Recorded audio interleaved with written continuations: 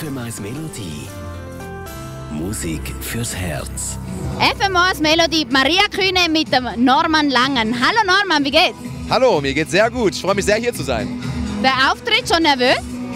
Ja, natürlich bin ich nervös. Ne? Also ich bin das erste Mal hier am Flumser Berg. Ja, habe ja heute auch die Wanderung mitgemacht. Und äh, wurde wirklich äh, eines äh, Guten bekehrt hier. Die Leute sind recht nett. Aber jetzt natürlich, wo ich sehe, wie voll es hier ist, ja, und zu später Stunde, wie die Leute hier abfeiern, habe ich natürlich schon so ein bisschen Bammel, ne? dass die Leute hoffentlich meine Musik auch annehmen. Ich habe ja viele neue Platten dabei. Also, äh, wir Schweizer Norman machen es so, wir, wir nehmen am- einen kurzen, dann geht wieder alles. Ja, also bis jetzt äh, muss ich wirklich sagen, ihr seid wirklich richtig nett hier bei euch. Ne? Also Ha- Hat dich das verwundert? Nein, also da habe ich in keine Sekunde dran gezweifelt, aber das ist schon so überschwänglich nett, ja, dass man sich hier wirklich wohlfühlt. Und ähm, ja, ich komme immer wieder gerne. Jetzt schon. Hören wir gerne, hören wir gerne. Ja, natürlich. Und Norman, ich habe gehört, gelesen, gesehen, egal. Du bist gelernter Schweißer. Ja, richtig. Ich bin gelernter Schweißer. Habe dann später eine Umschulung zu einem treuer Me- Demenzkranker gemacht und habe dann das letzte Jahr ähm, eine Sterbebegleitung gemacht. Also ja, und jetzt bin ich Schlagersänger. Also, ähm, ja, ein Werdegang kann auch nicht jeder sagen, oder? War das mit der, der Pflege, war das immer dein Wunsch oder bist du da aus Spontanität und Zufall hingekommen? Also mein Wunsch war es eigentlich immer auf der Bühne zu stehen, ja. Äh, Schweißer, ja, da hat eigentlich mein Herz dran gehangen. Das Problem war einfach, dass es einfach einen Zeitpunkt gab, wo die Stellen abgebaut wurden, ich keinen neuen Job bekommen habe, weil ich zu diesem Zeitpunkt noch keinen Führerschein hatte.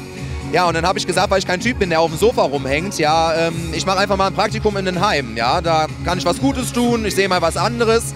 Das hat mir dann in dem äh, Demenzhaus bei uns so gut gefallen, dass ich halt direkt gefragt habe, ob ich da eine Umschulung machen kann. Habe das dann auch gemacht und habe dann später eine Fortbildung gemacht zur ähm, Betreuung Demenz, äh, Quatsch, zur Sterbebegleitung. Und das hat mir natürlich ganz viel gegeben, ja. Also es ist natürlich schön, wenn man den Leuten einen Tod, den Tod so schön äh, wie möglich irgendwie bereiten kann. Ähm, ja, so sind sie zumindest nicht alleine gestorben. Immerhin. Und jetzt haben sie dich ja noch auf der Bühne von oben oder woher sie auch schauen. Ja, richtig. So kann man es sehen. Im Prinzip ähm, macht sich da ja nicht viel. Natürlich ähm, ist das vorher ein ganz anderer Job gewesen, aber da war ich eigentlich dafür da, äh, den alten Menschen, die demenzkrank sind, halt das Leben irgendwie noch schön zu machen und zu versüßen und sie zu entertainen und zu unterhalten und noch ein bisschen zu pushen. Hey, du bist noch nicht alt und du schaffst es, ja. Und äh, im Prinzip mache ich das ja jetzt auf der Bühne, ja. Jetzt stehe ich nur halt auf der Bühne und singe und versuche da die Leute ein bisschen zu pushen. Ey, habt Spaß, ne? Und jetzt kommt mal aus euch raus. Du bist ein richtiger Sunnyboy, hey. Das habe ich schon ein paar Mal gehört, aber ich weiß nicht. Ja, Ja, ja dann auf halt. jeden Fall bin ich was braun. Was erzähle ich hier? Egal, lassen wir. ähm, du bist, bevor du zu Deutschland sucht einen Superstar gegangen bist, warst du schon in zwei Bands.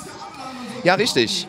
Also mit 15 Jahren bin ich in die erste Band eingestiegen. Das war eigentlich ein Dance-Act, da habe ich mehr getanzt als gesungen. Das war so eine Art DJ Bobo. Nur, dass da äh, der Rapper halt eine Rapperin war und wir, wir Männer waren die Sänger. Und ähm, ja, das hat zwei Jahre gehalten. Da waren wir auch im Vorprogramm von Janet Biedermann, Rednecks, von den ganzen alten Klassikern, ja. Und ähm, zwei Jahre später bin ich halt ausgestiegen, da hat die Band sich äh, aufgelöst und dann bin ich halt fünf Jahre in einer Boyband gewesen. Das war natürlich eine ganz andere Welt. Da haben wir eigentlich so R&B gemacht, ja, so ja eigentlich US-Style. Ja, und dann irgendwann habe ich gesagt, Leute, das ist es nicht wirklich. Ich möchte wirklich bis zu meinem 30. Lebensjahr versuchen, irgendwann Berufsmusiker zu sein, ja. Und mit Jam-Sessions komme ich da nicht weiter. Und deswegen äh, habe ich die Gruppe dann äh, natürlich in guten Sinne auseinandergegangen verlassen. Ja, und äh, habe dann erstmal Coversongs gesungen. Ja, das war Englisch wie auch Deutsch, ja. Also Meier Berg, oder? Nein, Jürgen Drews habe ich dann noch nachgesungen.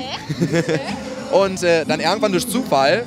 Ähm, ich bin in die Sauna gegangen, hatte meinen Laptop dabei, weil ich noch was abtippen musste, habe dann in der Sonne gesessen und habe mir dann irgendwann gedacht, ja, mal surfen ein bisschen im Internet. Und dann kam dieser Button, DSDS bewirb dich jetzt. Ich war vorher, muss ich ehrlich zugeben, kein großer DSDS-Fan, ja, weil so Casting, äh, äh, Marketing ja, war halt nicht so mein Fall. Aber ich habe mir gedacht, hey, wenn du es nicht probierst, ja, wer nicht wagt, der nicht gewinnt und wie lange willst du es halt noch versuchen? Ja, und dann bin ich dann dahin und habe dann tatsächlich den siebten Platz gemacht und das mit Schlager. Das mit Schlager, sagst du richtig. Also das ist wirklich eine Leistung. Das kannte man ja eigentlich nicht wirklich sehr bei DSDS. Oder man, man wusste, man kommt nicht weit mit Schlager. Ist schon so. Ja, schon, aber ich habe mir gedacht, ähm, bis jetzt war nie wirklich ein Schlagersänger dabei. Ja, es gab einmal die Vanessa Neigert, die ja so die 50er und 60er Schiene bedient hatte, was ich extrem gut fand und sehr mutig. Aber von den männlichen Kandidaten war da nie ein- einer bei, der irgendwie die deutsche Sprache nach vorne gebracht hat. Da habe ich mir gedacht, vielleicht ist ja dieses Jahr die Zeit und es war die Zeit, war- 2011. Es war dein, dein Sprungbrett in die Karriere. Ja, also DSDS, da können äh, Leute drüber sagen, was sie möchten. Ich war vorher schon zehn Jahre auf der Bühne. Mich kannte man vorher nicht, jetzt kennt man mich und das durch DSDS. Das muss man ganz klar sagen. Offen und ehrlich, wie es halt eben ist. Wie sieht's aus? Du bist auf dem Ballermann anzutreffen und in Diskotheken? Ja, also Diskotheken sind dieses Jahr eigentlich äh, sehr rar gesät, muss ich sagen. Jetzt meistens schon so Open Airs. Äh, am Ballermann äh, war ich ja letztes Jahr äh, einmal die Woche, dieses Jahr nur sechsmal, ähm, weil ich halt schon ausgebucht bin für dieses Jahr. Ich meine, ist ja auch was Schönes. Ja, dann halt.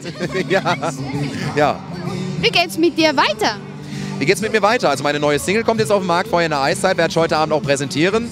Dann äh, wird meine neue, äh, mein neues Album auf den Markt kommen. Heißt 100% Norman, weil da werden keine Coversongs mehr drauf sein, keine Neuinterpretationen, sondern nur eigene Songs von mir. Und äh, ja, das macht mich sehr stolz. Das macht mich auch sehr stolz. Ist ja wie pures Gold. Ein Titel, den du heute bestimmt auch an, anschlägst, oder? Natürlich, Pures Gold ist mein Baby. Das ist meine erste Single, die auf den Markt kam. Also die werde ich, glaube ich, noch singen, wenn ich 60 Jahre alt bin. Schön zu hören. Du, ich wünsche dir viel Spaß heute Abend. Genieße es und mach's gut. Ja, euch auch noch viel Spaß. Tschüss.